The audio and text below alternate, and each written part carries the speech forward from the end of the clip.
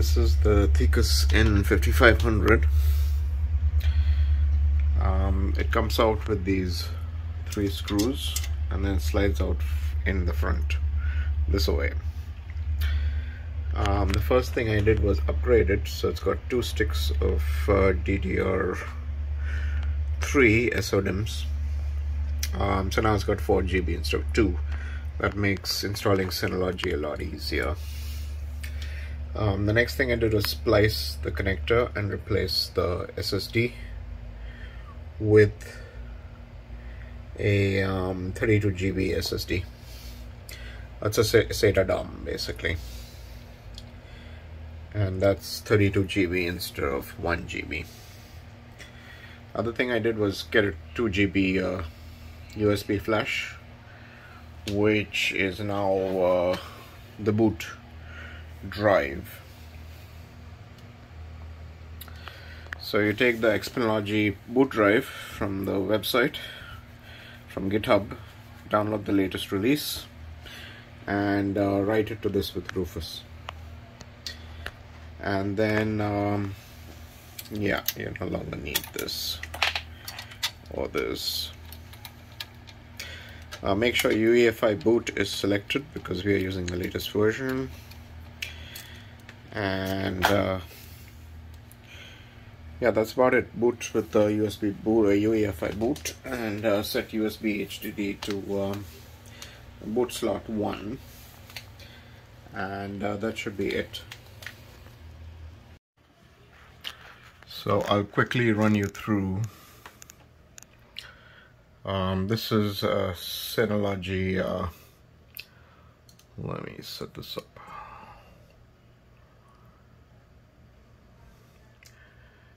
So this is Synology 7.0, which is the one I've selected.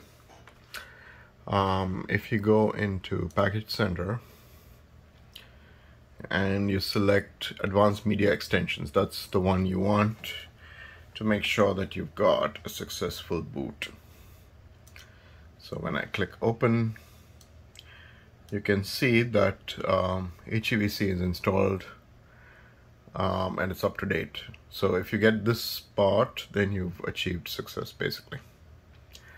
Um, if it asks you to log into Synology account, you'll need to create a Synology account, but uh, you need the correct serial and the correct MAC address. The default scripts on XPenology do not generate correct um, serial or uh, this thing, MAC address.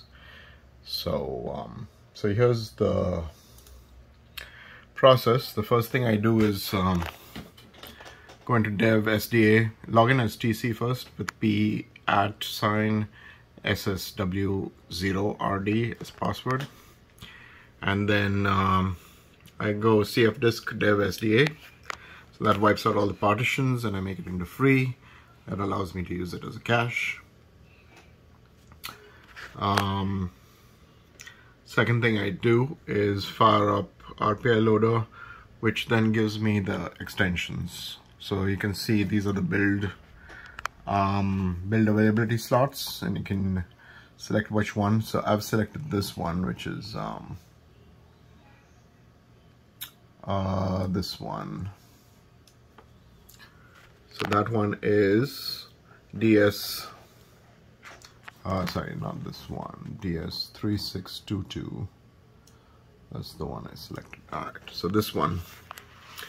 So DS3622XSP70142218. I've not tried the other ones. Uh, this one seems to work well, so I'm sticking with this one.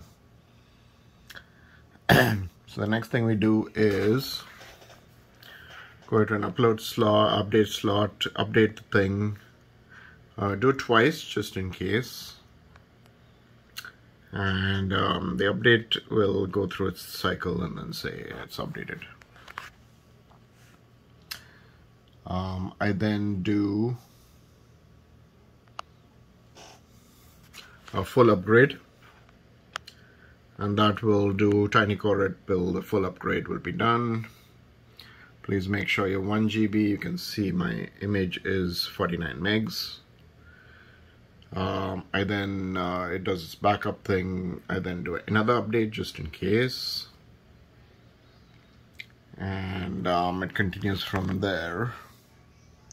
So the next thing we do is identify USB so that identifies oh the first thing we do is do a serial gen.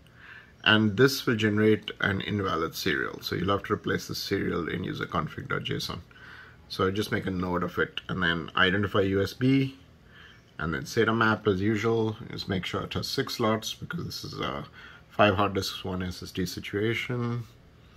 And then update the config values. Okay. Then we do a VR and you'd replace it with the real Synology DS uh, 3622XS Plus serial number and MAC address. And you will get those uh, from the online on the web you should be able to find somebody with a like on eBay with a, like a snapshot of the back panel of 36422XS Plus and you will just copy that and put it in your online account um, you can have the same serial number across multiple online accounts and then I just do the build as usual. So RPI loader build by 700 or 701 42218. Then I go to find-us.synology.com and basically just follow the prompts. It'll install it on SDA, no problem. So that's the um, build sequence. And then um, basically done at this point it'll boot into working system I just need to plug in a keyboard and uh, select the um, USB boot, not the SATA boot. So make sure you select this option, this um, Red Pill DS3622XS Plus uh, USB verbose. That's the one you want. And that's, once you select it once, it's always there permanently, so you can just continue with it. And that's pretty much it. So, uh, yeah, and I just hit reboot and that converts it to full uh, 3.6 um, Synology uh, machine. So let me go into control panel and oh yeah I wanted to do that so enable memory compression is what I selected and power schedule uh, no, restart automatically when uh, power supply issue is fixed. You'll also select that in BIOS. So you'll have this option in the BIOS, make sure it's selected on. Uh, oh yeah, and update and restore, make sure that since it is a 3, there's always 711 available, so we know on that. So I continue to use 701. And, um, oh yeah, uh, storage manager I go into storage manager and let me show you what I've done. So the 36422 is a 6 uh, and it's a 12 slot. So we've got 6 populated because the Thecus N5500 is a 6 slot machine. Um, so I've got basically a storage pool um, which is a RAID 6 storage pool and then I have um, yeah so I've got SSD cache enabled so I've got read-only cache basic without data protection and this uses the whole slot cache of 32 GB um, as my SSD read cache for these guys. And these are five uh, 4 terabyte uh, hard disks and you can see it's labeled them as Thecus because it's uh, Thecus and it's got RAID 6 max 12 we've of course got only 6 slots. Um, yeah and you can run SSD cache analysis which will tell you um,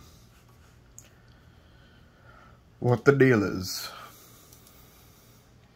Um, and that's my thing. I've got SDV32, which is the cheapo, uh, jib, uh, the cheapo um, DOM, SATA DOM, which I got off Amazon. So it'll take any SATA DOM. Just make sure you splice the cables with the heat shrink. Um, that's about it. Um, I've got a bunch of things installed, so I installed a bunch of things which are useful.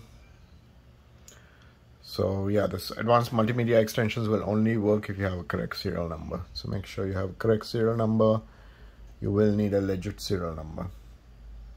I've got audio station I've got antivirus I've got um, document viewer and all the usual stuff installed.